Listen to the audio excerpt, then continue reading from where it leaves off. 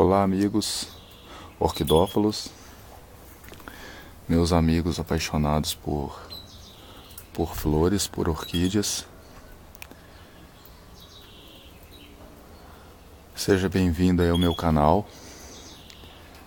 Hoje eu estou aqui no meu orquidário aqui filmando aqui o, o meu dendróbio que está florido. No vídeo anterior eu fiz um eu filmei ele e falei que ele estaria abrindo flores brevemente. Eu filmei as hastes florais dele. Quem assistiu o vídeo aí lembra. Teve algumas pessoas que até me pediram para mim filmar quando tivesse aberto. Então, por exemplo, este dendróbio, filmar aqui para vocês como é que é o pseudobulbo dele. Ele começa fino aqui, aí ele dá uma engordadinha, e ele afina aqui em cima. E logo aqui em cima é aonde que sai as hastes floral, tá vendo ali? E a curiosidade dessa planta, a curiosidade desse dendróbio é que ele surgiu brotação nova. No início desse ano ele surgiu a brotação nova.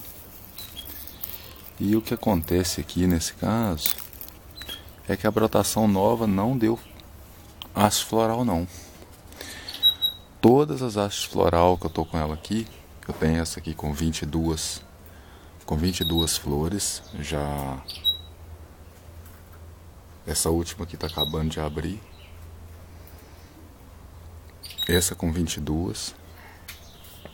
Não, perdão. Essa aqui tá com 18 flores abertas e essa outra aqui com 22 totalizando 40 flores. E tem essa daqui. Esses botões aqui ainda vão abrir nessa outra, nesse outro bulbo ali. E tem mais essas duas aqui. Mas essas duas aqui que estão abertas. Aquela ali está até virada para baixo. E tem aqui mais um botão ainda para abrir. Mas o curioso aqui é que elas surgiram nos pseudobulbo antigo, onde já tinha florido, tá vendo aqui, ó? Aqui já tinha havido uma floração. Aqui já tinha havido outra floração. Aquele ali, ó, já tinha havido ali outra floração e surgiu a haste. Inclusive aqui tá com 22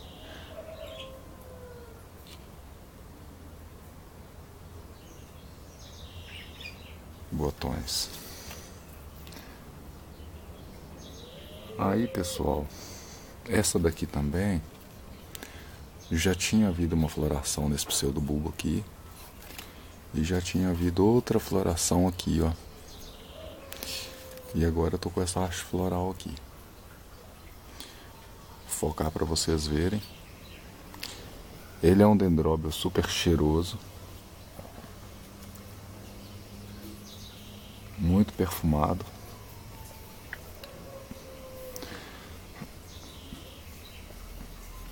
E eu mesmo faço esses cachepós aqui, ó. Aí o que, que eu faço? Ele está plantado num vaso plástico. Eu coloco ele dentro, tá vendo? Lá dentro do, do cachepó e penduro. Eu também faço a alça. Tá vendo? Este ganchinho aqui para que serve esse ganchinho? Este ganchinho serve para colocar a placa de identificação da planta. A identidade da planta vai aqui. Além, da, além do nome, você pode especificar aqui local, sombreamento, rega e tipo de adubo que essa planta necessita assim com todas as outras orquídeas. Eu ainda não organizei, está sem a placa de identificação. Eu comprei este dendróbio no, no, lá no orquidário. Quando eu comprei ele, ele estava florido. Então ele veio e perdeu, já tinha acabado a sua floração. Aí surgiu esses novos brotos. Aí eu até tutorei, estaqueei esses brotos, tá vendo aqui? Achei que era eles que ia florir Tem outro aqui, aqui, ó. Tá vendo? Tem mais. São um, dois, três, quatro. Ele deu quatro bulbos novos. E nenhum desses quatro veio a florir. Quatro não, cinco. Ele tem cinco bulbos novos. Todos que estão aqui com a, com a, com a estaca, tá? Aqui, ó. Aí, esses dois aqui, mais este aqui. São brotação nova. E eles não floriram. Quer dizer, não surgiu haste floral ainda. Os que vieram a haste floral são os bulbos antigos. Ainda bem que eu não tenho costume de ficar cortando, né? Senão eu tinha perdido aí minha, minha floração deste ano. Mas a planta. Planta tá. A planta tá saudável. Eu tenho que tratar alguns fungos. Eu não sei se é fungo. É uma pinta negra que apareceu, tá vendo? Tem outra aqui.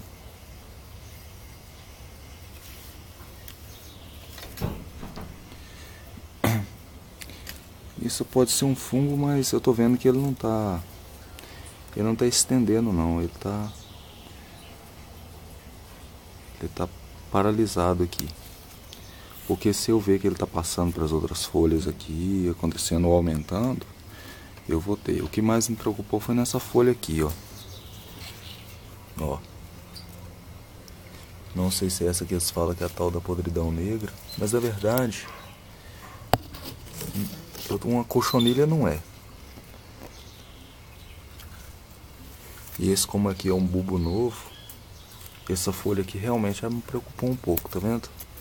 Aqui ó, ela chega até a mancha aparecer do lado de cima. Mas até já ouvi algumas dicas na internet aí sobre a sobre como cuidar disso aqui. Aí eu tô até pensando em comprar um defensivo para mim.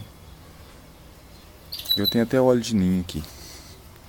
Mas não sei se só ele vai resolver ou se eu preciso de acrescentar mais alguma coisa. Porque é uma planta maravilhosa, né? Merece merece meu cuidado. Então, eu queria compartilhar isso com vocês. Aí você que está gostando aí do meu vídeo, eu já tenho meus amigos aí que me acompanham aí, que sempre deixam lá seu comentário sempre, sempre dão seu, seu like aí no meu vídeo. Então não se esqueça não, você que está assistindo aí, está vendo o vídeo, dê like aí. Pode deixar seu comentário. Que eu souber. O que eu souber eu puder te informar, eu vou te informar. E assim a gente vai aí trocando opiniões, informações. Aí tá aí para vocês. Eu eu esqueci agora o, a espécie deste dendróbio. Na verdade, quando eu comprei ele, ele estava sem a placa de identificação, mas o rapaz falou comigo e eu esqueci de anotar lá. Mas não tem problema não. Depois eu, se alguém souber aí, pode me falar também, mas eu se eu voltar lá no orquidário também eu pergunto o, o rapaz lá. Ele é uma planta muito boa para você ter aí na sua coleção. Ele um dendróbio muito cheiroso. Muito cheiroso mesmo. Uma planta maravilhosa. Fica aí, ó. Que arranjo lindo, ó. Pena que não tá todo florido, né? Imagina se tivesse. Mas ainda vai ficar. Eu pretendo ver ele todo cacheado de, de, de haste floral aqui. Quem sabe ano que vem, né? Que Deus nos dê saúde aí para poder contemplar essas maravilhas. Como eu disse, não está todo aberto, né? Essa haste floral que ainda não abriu. As que estão abertas aqui são 42 flores. O meu nobile ainda está aqui com duas flores abertas, ó.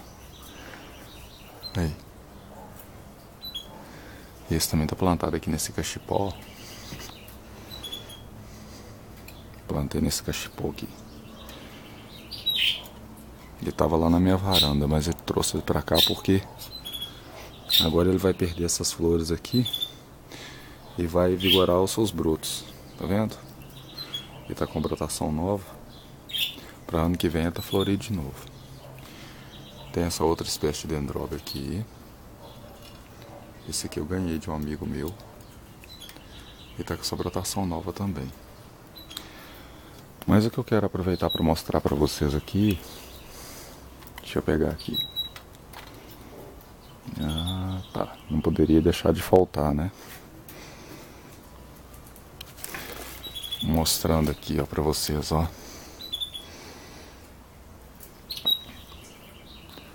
Meu cataceto. O cataceto tá aqui florido. Ou seja, tá desabrochando agora. Deixa eu pegar aqui melhor aqui para ver se ele aparece mais na, na, na filmagem aí, ó. Esse meu cataceto.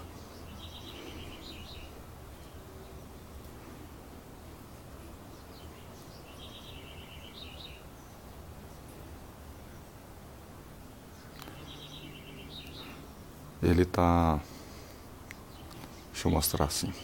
Aqui talvez mais no claro aqui.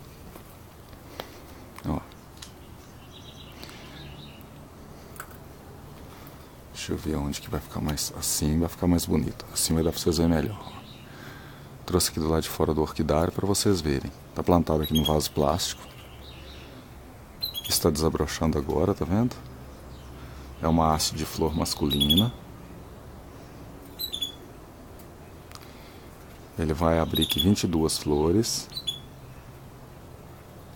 E já está com mais duas hastes floral vindo, ó. Este é um cataceto que dá aqui na minha região. A gente encontra muito aqui nos, nos, nos coqueiros, nos pés de macaúba. Aí costuma encontrar também nas árvores. Até no centro aqui da cidade aqui, tem nas árvores, aqui no bairro tem, nas, nas Palmeira Fênix também surgem. Eles são um cataceto muito comum aqui da minha cidade. Eu não sei se esse é o, o barbato. Ele tem um labelo assim meio parecido uma escova. E ele traz aí na sua nas suas sépulas uma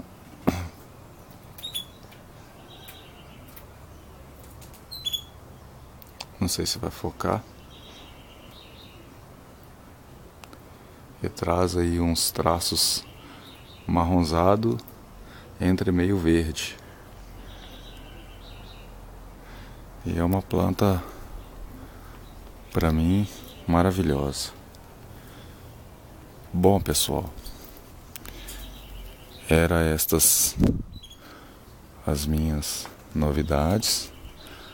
Aqui, ó, ele fica pendurado num sombreamento de 70%. Repara que fica até um pouquinho escuro aqui de baixo. Até porque ainda não bateu o sol da manhã. Aí ele fica aí pendurado aí, ó. Eu tenho eu tenho mais um aqui que vai florir. É o que está plantado no coco. Mas não preocupa não, quando florir eu vou fazer outro vídeo. Tá bem enraizado já, é o que eu plantei no coco, tá vendo? E ele tá com uma haste floral aqui que vai provavelmente umas 30 flores, ó. Tá um pouco escuro aqui porque tá bem cedo e e também porque o sol não bate aqui. Então, para ficar mais claro, eu teria que caçar uma posição melhor para me filmar. Mas acho que vai dar para me mostrar. Deixa eu ver aqui. Eu tenho que colocar alguma lâmpada aqui para dar claridade. Enfim, mas esta é a planta. Acho que vai dar para vocês verem. A brotação nova dela é a haste floral dela. Plantada aqui nesse coco. Ó. Agora vai dar para vocês ver lá, ó. Tá vendo? Porque eu mostro para vocês aquilo que deu certo para mim. Porque se deu certo para mim, pode ser que dê certo para vocês também. Aqui eu vou até tirar para vocês verem. Eu fiz esse arranjo aqui, ó. Eu plantei esse cataceto aqui num disco. Eu fiz esse disco de, de madeira, tá vendo? Olha lá, uma bolacha, né? Aí eu fiz uma trouxa de esfagno e fixei. E ele já está aqui com as suas hastes floral. Olha aí como é que tá plantado. Posso virar que não caia. Ó. Viu? Cai nada, tá bem preso. Coloquei esse tecido aqui em volta.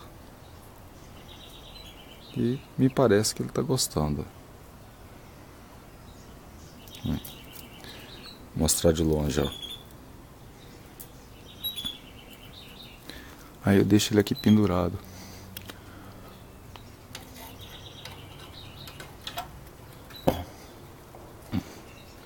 Deixa ele penduradinho ali.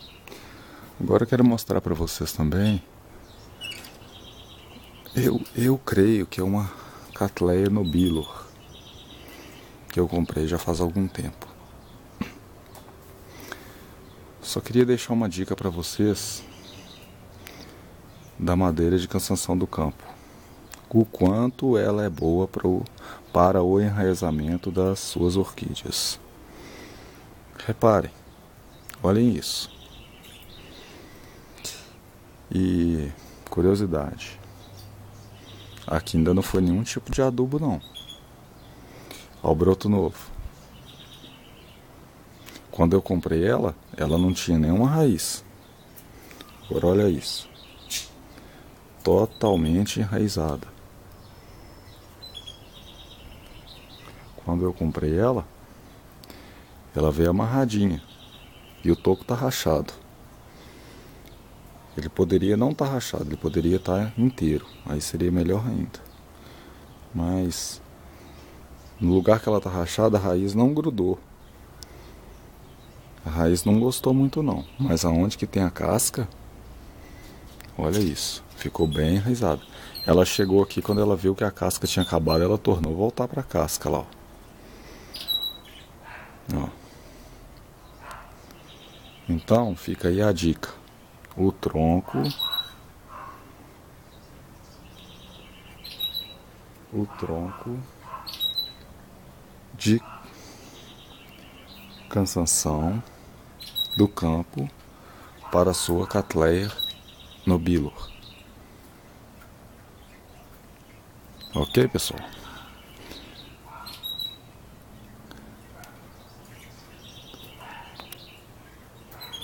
Quero finalizar aqui mostrando a.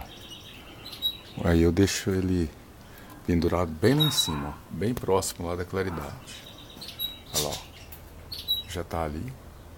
Aí ele fica pendurado aqui. Ok? Bom, eu quero finalizar aqui mostrando o meu.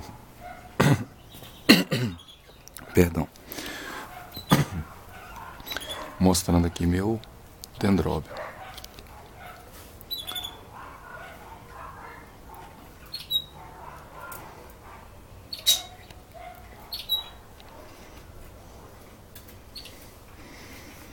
Do, da mesma forma que eu comprei ela, eu, eu cultivo. Adubação. Eu coloquei aqui um pouquinho de adubo mineral misto. Bem no cantinho, ó. Só este. Agora, eu também coloquei algumas bolinhas de osmocote. Eu creio que o osmocote é muito bom. Mas enfim. Quero deixar meu abraço e meu carinho para vocês. Até o próximo vídeo. Tchau, tchau.